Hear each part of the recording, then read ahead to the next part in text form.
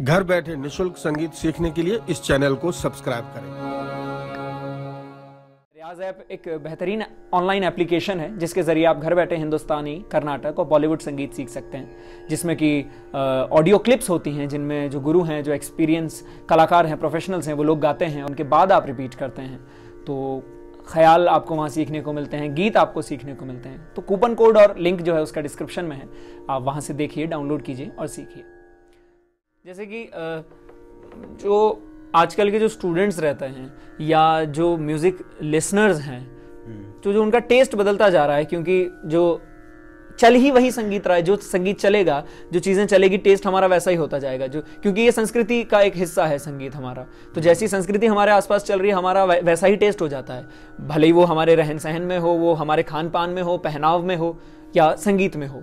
तो क्योंकि आजकल की संस्कृति में इतना वेस्टर्नाइजेशन हो रहा है तो हमारा जो शास्त्रीय संगीत है, वो भी कहीं ना कहीं देखा जाए तो वैसे उभर रहा है, ऐसा नहीं है। पर क्योंकि वेस्टर्न म्यूज़िक ज़्यादा हो गया है और फ्यूजन ज़्यादा चल रहा है तो उस फ्यूजन में हम देखा जाए तो बॉलीवुड आ जाता है, या फिर लोग भी जिस प्रकार का गीत, संगीत बना रहे हैं नॉन फिल्मी भी जो एल्बम्स बनाते हैं या जो संगीतकार ऐसे हैं जो फ़िल्म में ना जाके अपना खुद का संगीत भी जो निर्माण करते हैं तो उसमें भी वो कहीं ना कहीं वो अंग वो इस्तेमाल करते हैं, क्योंकि वाद्य यंत्र वैसे हो गए हैं, है ना?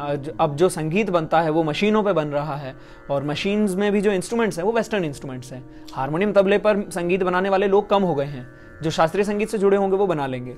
तो उनका रुझान जो है, उस संगीत की तरफ़ ज़्यादा है, और वो कहीं ना कहीं इसीलिए भी है, क्योंकि जैसा कि आपने बोला कि शास्त्रीय संगीत जो है, वो मनोरंजन का विषय नहीं है। फ़िल्म संगीत या सुगम संगीत जो है वो मनोरंजन का विषय है। वो दूसरों के लिए गाया जाता है है ना? उससे आप खुद को तो खुश करते हो पर सामने वाले को भी करते हो। उसमें आध्यात्म का इतना लेना देना नहीं होता है। उसमें ना वो साहित्य होता है क्योंकि साहित्य के लिए वैसे शब्द वैसी सोच चाहिए जो उनमें नहीं होती है है ना? उसमें अलग अलग विषयों पर बात होती है पर उसमें वो आध्यात्म की बातें नहीं होगी। अध्यात्म होगा तो फिर उसमें मनोरंजन नहीं होगा जहाँ तक मैं समझता हूँ है ना? वो साधना का विषय होगा। जैसे शास्त्रीय संगीत की भी जो चीज़ें हैं, उनका स्वर का अलग लगाव लगाव हो, या जो गायकी का तरीका हो, उससे सांस का काम है। तो बॉडी का योग साधना होती है उससे, और दिमाग की भी साधना होती है। तो लोगों का रुझान उस तरफ़ ज़्यादा है। तो आप, कैसे आप समझाएँ किसी विद्यार्थी को कि उसको क्या सीखना चाहिए? सुगम सीखना चाहिए या शास्त्रीय सीखना चाहिए? क्योंकि सुगम में फिर मैं ये भी ऐड कर दूँगा साथ में कि हमारे प्रांतीय संगीत जो है वो भी हमें बहुत ज़्यादा कनेक्ट करता है, जैसे कि कोई बिहार का है, या कोई गुजरात का है, या कोई पंजाब का है तो उसको वहाँ का संगीत बहुत ज़्यादा पसंद आता है। तो वो यूँ कहते हैं, हमें अगर भोजपुरी गायक बनना है तो हम भोजपुरी गायक कैसे बनेंगे? तो क्या उसके लिए कोई अलग टेक्निक होती है? क्या अलग चीज़ें सीखनी होती है? या कोई हमें पंजाब का है, या कहीं का है तो कहता है कि, भाई, मुझे सूफी संगीत बड़ा पसंद है तो मुझे सूफी संगीत सीखना है, मुझे सूफी सिंगर बनना है है ना? या मुझे कव्वाल बनना है। है ना? या मुझे भजन गायक बनना है, या मुझे गज़ल गायक बनना है तो क्या उसके लिए कुछ अलग सीखना पड़ता है? और उन सब में और शास्त्रीय संगीत में क्या फ़र्क है, या शास्त्रीय संगीत सीखने का उसका असर होता है? उस पर थोड़ा आप बता बताएँ। गाएँ कुछ भी, रियाज तो वो ही करना पड़ेगा जो हम करते हैं।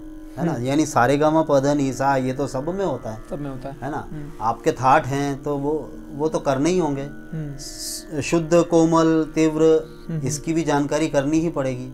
है ना? तो और गले को भी तैयार करना पड़ेगा चाहे वो भोजपुरी हो चाहे वो राजस्थानी हो चाहे और कहीं का हो जिस जहाँ का भी हो। है ना? अगर भारत में है तो कुछ ना कुछ भारतीयता उसमें होगी ही होगी। और भारतीयता यानी शास्त्र हमारे जो शास्त्र हैं उससे कोई किसी न किसी तरह से उस तरह का कोई रागदारी होगी कोई कुछ न कुछ होगा ऐसा है ना? तो जो भी हो गले की तैयारी के लिए भी रियाज तो यही करना पड़ेगा ठीक है? और समझ के लिए भी रियाज तो यही करना पड़ेगा है ना? तो ऐसा है कि जैसे कोई बिना सीखे बस गला थोड़ा सा काम कर देता है तो कोई गा लेते हैं है ना?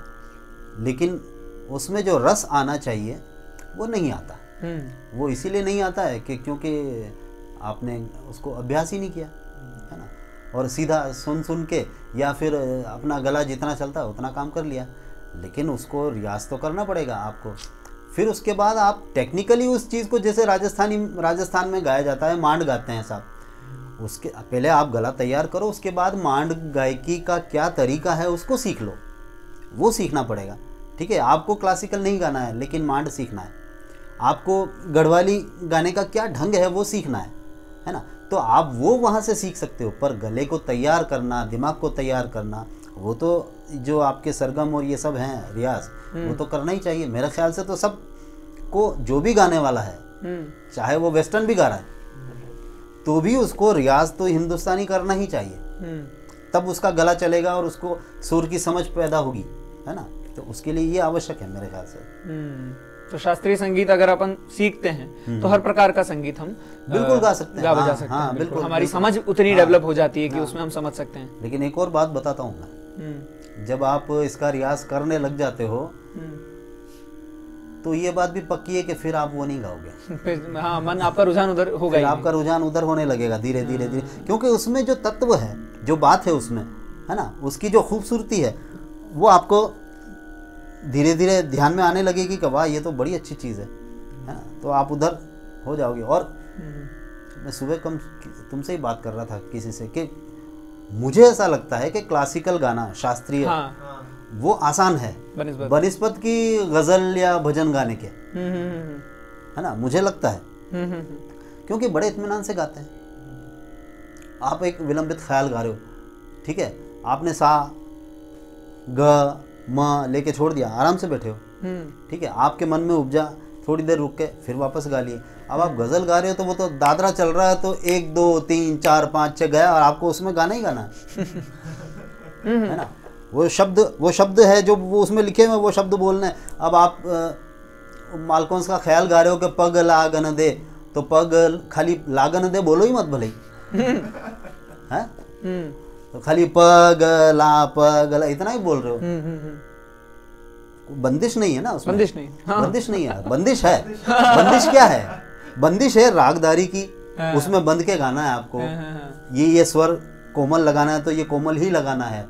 अगर त्रिताल चल रहा है तो त्रिताल में ही गाना है एक ताल चल रहा है तो एक ताल में ही गाना है रूपक चल रहा है तो रूपक में ही गाना है। अगर विलंबित गा रहे हैं जो भी है है ना? द्रुत गा रहे हैं तो भी वही बात है है ना?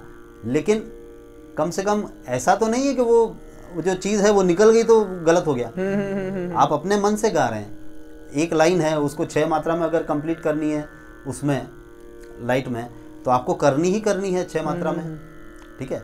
या तो फिर उसको इस ढंग से गाओ कि वो ख्याल की तरह लगे। जैसे गज़ल गाते हैं बहुत सारे है ना? आजकल जै, जैसे गज़ल होती है। अब वो गज़ल को क्लासिकली ढंग से गाते हैं तो गाते हैं है ना? हालाँकि वो सेमी क्लासिकल हो गया है ना? लेकिन वो वो ढंग है फिर उसके लिए भी लेकिन ये तो करना ही पड़ता है। तो बेसिकली ये जितने भी टाइप्स ऑफ़ सिंगिंग हैं हाँ। जिसमें कि भजन गज़ल या भोजपुरी अंग या प्रांतीय कह दें हम जैसे भोजपुरी हाँ, को राजस्थानी या मराठी संगीत जो वहाँ का स्पेशल संगीत है वो प्रांतीय संगीत हाँ।